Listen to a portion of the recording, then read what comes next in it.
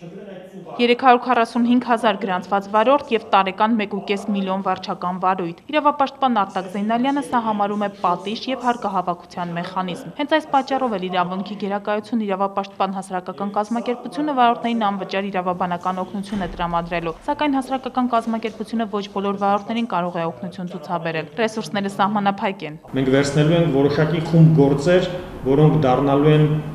այն բացողը, հունը, փորողը, որպեսզի հետագայում մարդիկ կարողանան առանց դատական մեր միջամտության կարողանան պաշտպանել իրենց իրավունքները։ Մենք վերցնելու ենք որոշակի խումբ գործեր, վերցնելու ենք որոշակի իրավական խնդիրների լուծմանը ուղղված գործեր